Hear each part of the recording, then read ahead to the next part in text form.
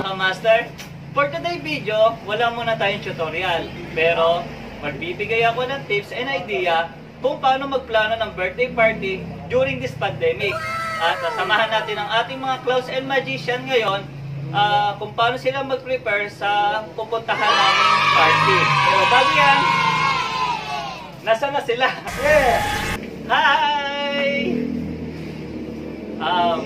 Bali, pinapakilala ko pala sa inyo ang aking mga kasama. Ah, si paring Eric, ah, siya yung manager, ah, magician natin. Ah, this is Apollo, ah, pantomime, clowns, juggling, ay, sa, eh, ay, ano, ano ako, ano ako this is, uh, uh, this is Bong, uh, ang ang ating magician and clown.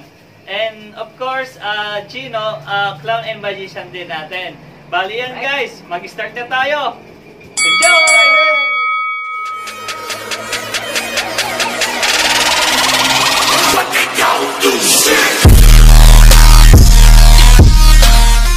Bale, ah, pupunta na kami sa venue. Okay guys, kita mamaya. Bye! Five minutes later. Nandito na kami ngayon sa venue ng aming pag pagsoshowan. Um, bale, bali mag start to mga around 3 to 4. Ah, bali, dumating kami ng mas maaga. Um, ayan, um, dumiretso na sa likod or backstage. Ah, dito kasi bahay lang din yung yung aming pagsoshowan.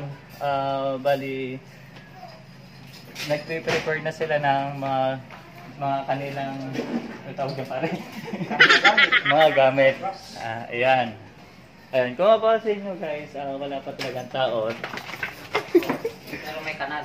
Pero may kanal.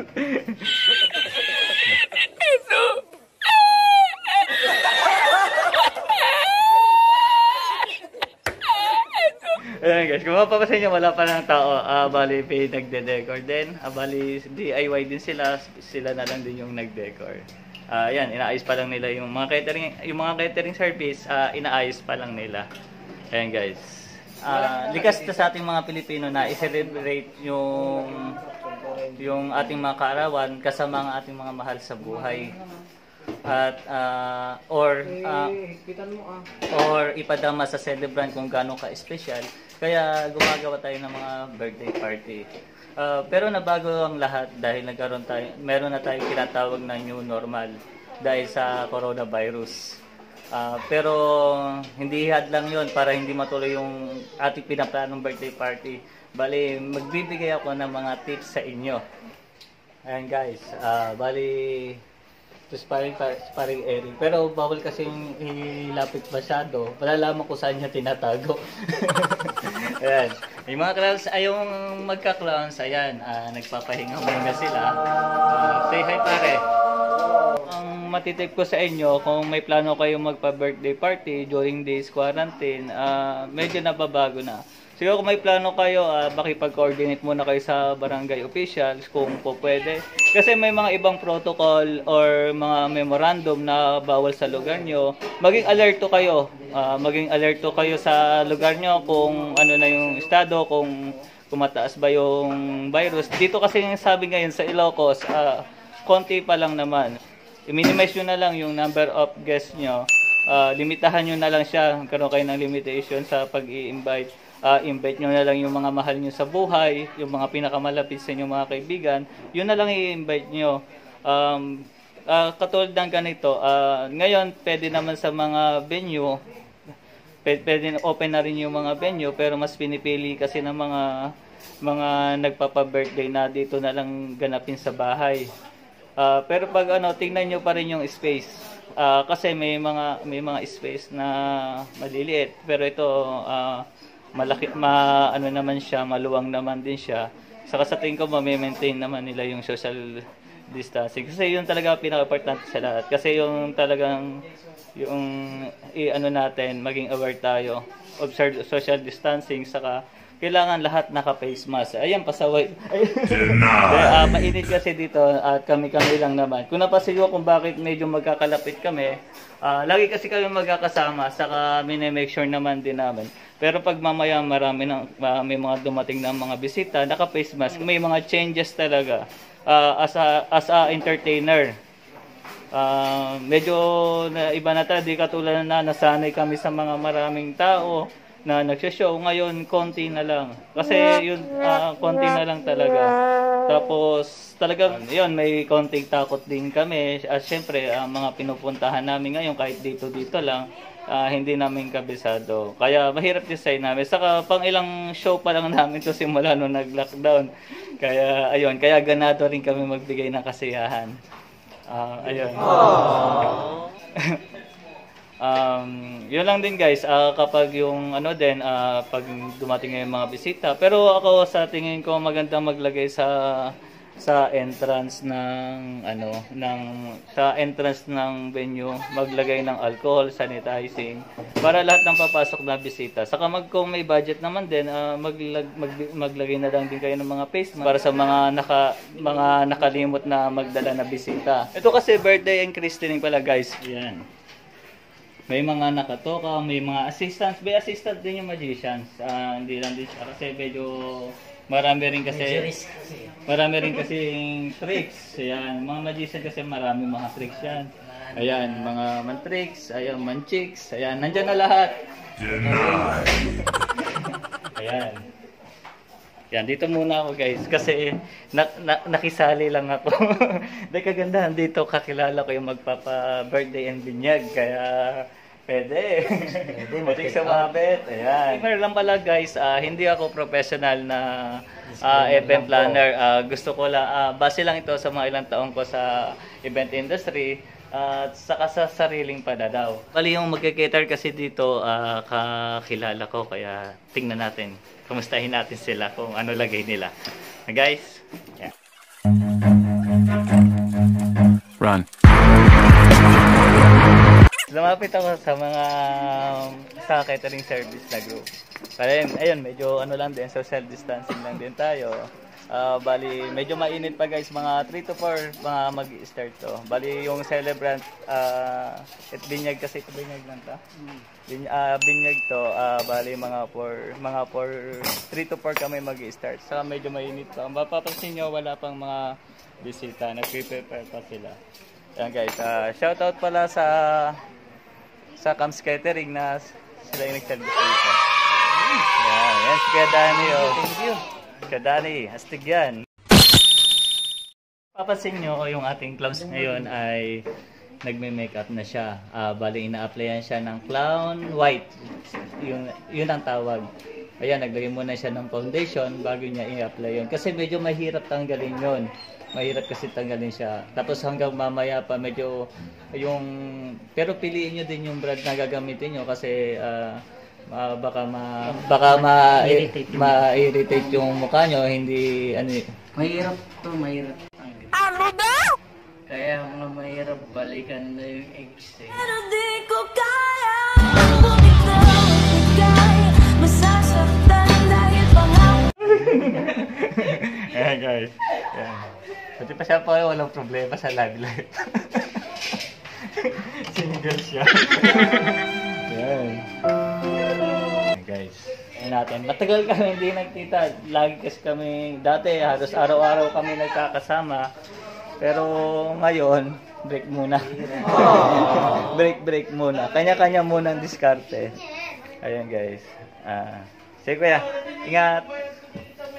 Ah, saka yun guys, alisin ko muna yung face mask ko kasi kami lang naman yung tao dito. Ah, nasa backstage naman kami. Ipakita ko pala sa inyo yung mga alaga ng mga magicians. Ayan. Ay. Ayan, guys, oh.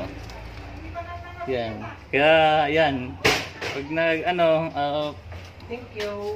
hindi tayo, um, pag nanonood tayo, nagugulat na lang tayo kung saan nanggagaling. Yun ang, pwede, yun ang hindi natin pwede ipakita. Alam mo nang niloloko ka na, naniniwala ka pa. Kuha tayo ng checklist, sa una natin ano, yung date, kung petsa ba yan. Pero itong during this pandemic, ah, pwedeng ma-postpone or hindi matuloy. Kaya observe lang na observe lang tayo sa mga balita sa ating lugar.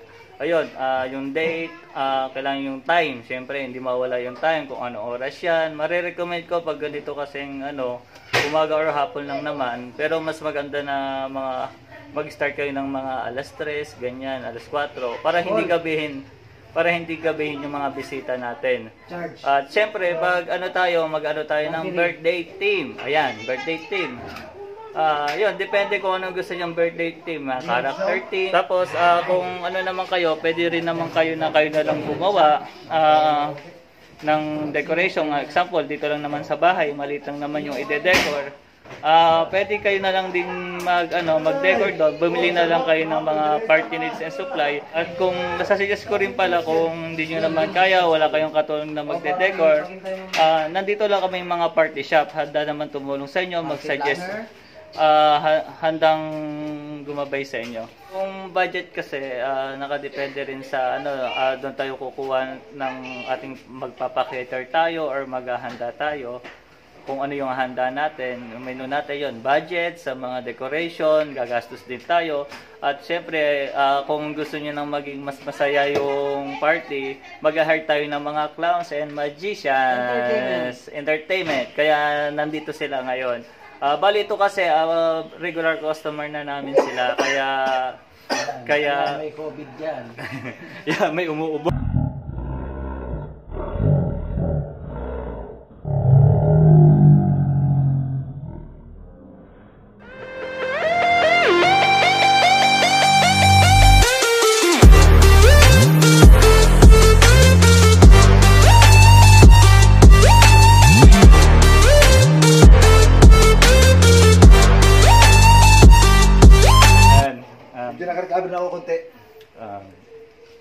Ayan guys, Ah, ayan, ma mako ah, next video ko ngayon kasi ah, guys pala, hindi ko ma ano to, bali sinamahan ko lang silang pumunta dito. Ah, iiwanan ko rin sila. kasi may mga iba pa akong gagawin kasi sa sa shop. Bali pagka ano ko nito, alis na rin din ako. Um, Saka pala guys, ah, sa checklist natin, ah, yun, ah, ilagay natin yung mga souvenirs and ano, sub, ah, souvenirs and giveaways. Siyempre, mga yan. Huwag kakalimutan yung cake. Yan, pinaka-importante cake. Yeah. Yan. Kasi pag birthday, siyempre, iboblow. Ah, yung ano Ang natin. pinaka-importante, kanin. Ah, na- biglaan kasi ito, bali hinatid ah, sumama lang ako sa kanila dito. Ah, kailangan ko na rin bumalik sa shop. Ah, sana guys na nagkaroon kayo na or na, nagkaroon kayo meron kayong napul na konting aral sa ah, pagbigay ko ng tips sa inyo and idea na kung paano ah, kung paano magplano ng birthday party plan during this pandemic. Um, Ayun guys, ah, mali pala nagpapasalamat ako sa mga nanood ng last, mga last video ko. At ah, na hanggang ngayon nanonood. Sana manood pa kayo sa next video kasi marami pa akong video na na ipapakita na gagawin guys. Ah, may mga tutorial tayo, sasama tayo. Ngayon kasi um, ngayon kasi ah, hinatid ko lang sila, hindi ko sa inyo mapapakita kung paano sila yung mag-magic ganyan. Kasi mahaba yun guys. Kailangan ko nang bumalik sa shop. Ah, yun lang guys, Ah, maraming maraming salamat din guys. Ah, at sa mga event planner din ah, nasa event ah, na kagaya namin, ah, patuloy lang tayo mag-pray kay God na matapos na rin yung pandemic neto, bumalik na rin yung dati nating mga trabaho. Um, ah, wag, wag mawala ng pag-asa guys. Ah, Ah, sa muli guys, ah, maraming salamat. Ah, paalam. Bye!